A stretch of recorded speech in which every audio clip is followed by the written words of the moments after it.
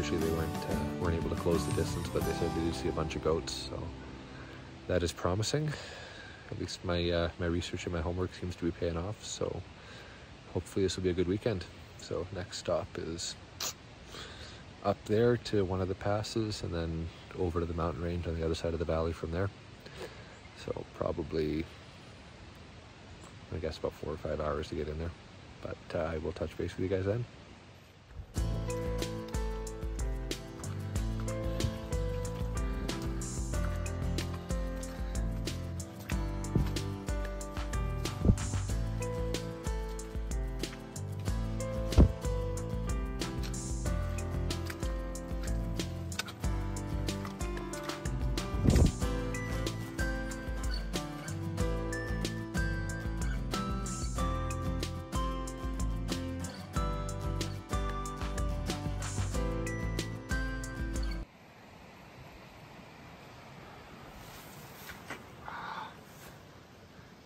Absolute muskegee swamp.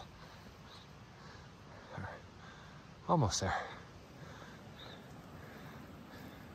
But this stuff sucks. Big time.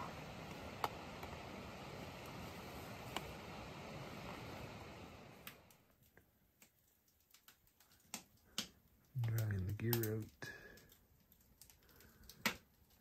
One tent set up. Table. Sleeping bag set up.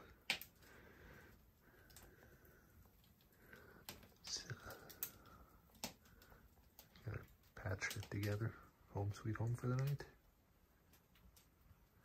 Do some tarps and some plastic openings.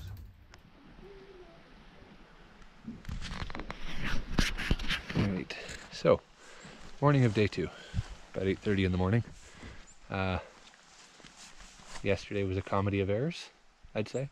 Yeah. Uh, we hiked five hours instead of the three that we were originally thinking of. Trail's a little hard to follow. Uh, ended up a little way down valley than we wanted to be because we had to duck out from a rainstorm. Um, so that was the five star accommodations last night. But the sun's out this morning. The alpine looks good from here, and we'll see what happens when we get to the top. Wish us luck.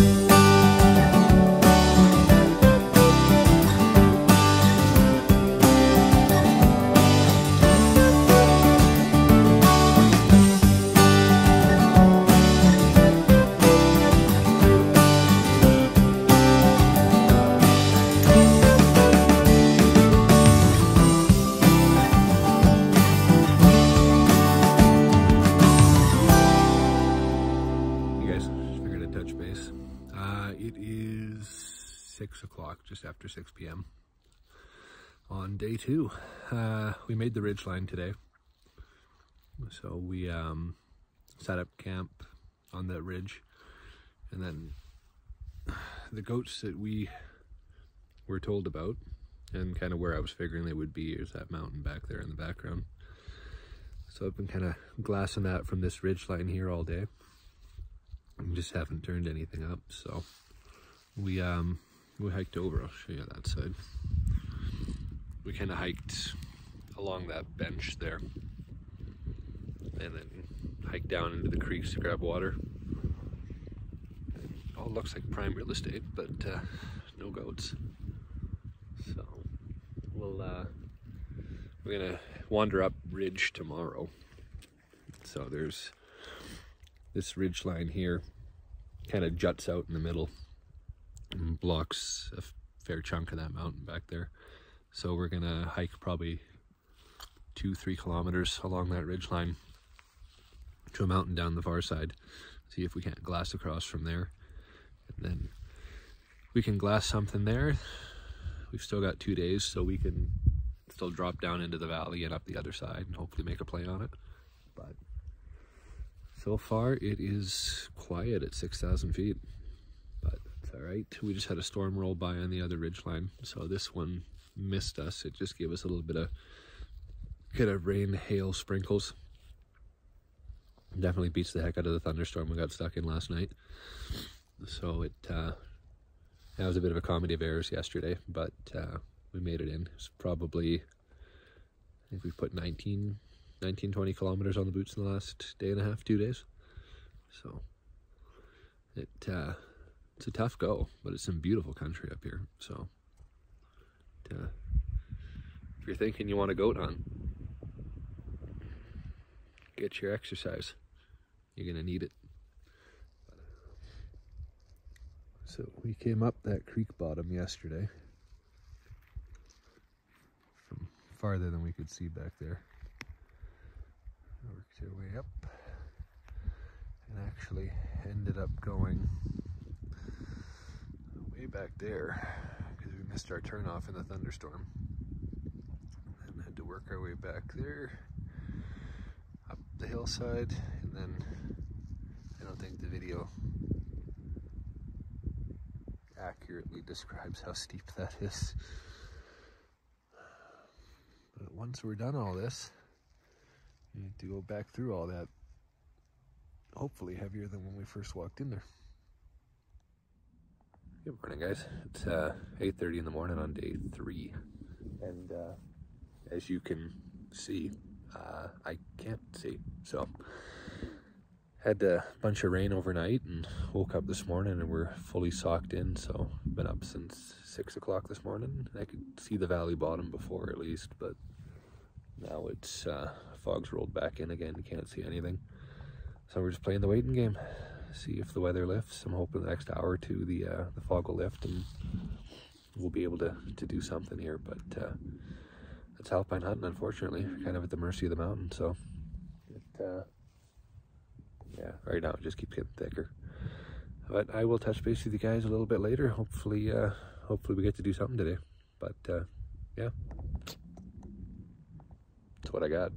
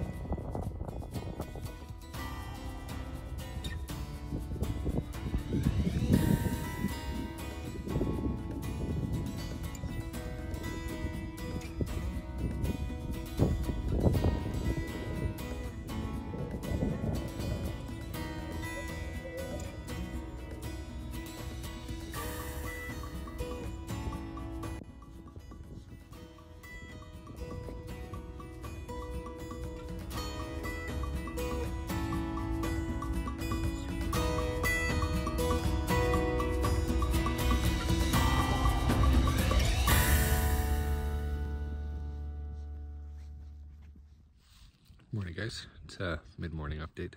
It's about uh, 10 o'clock, almost 10 o'clock, 5-2. So the fog's burnt off for the most part. Uh, we hiked probably an hour up the ridge, a couple kilometers anyway, to a different saddle. So we get on the other side of that ridge that I was pointing out this morning and be able to glass up a different part of the mountain that we couldn't see. So I'll show you.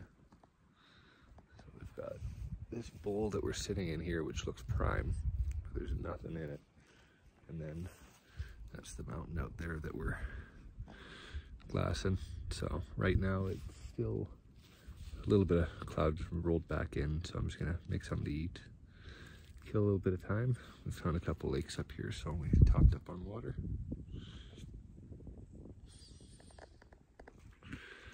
But the sun is out. We can finally see. So life is good. Hopefully things are looking up. I'll touch base with you guys in a bit. Hey guys. So checking the satellite weather while we were up glassing that other ridge there. And it uh, looks like we're gonna get a sprinkle of rain tonight, which is no big deal. But uh, through the night, it's supposed to drop to minus four. And then start either sleeting or snowing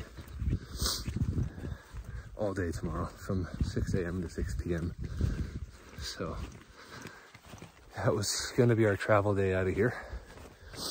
But since we haven't been able to locate any goats on these ridges yet, it looks like anything that is up here is on the other valley wall on the far side there, which realistically at this stage, we wouldn't be able to make over and put a play on and still get out of here in time.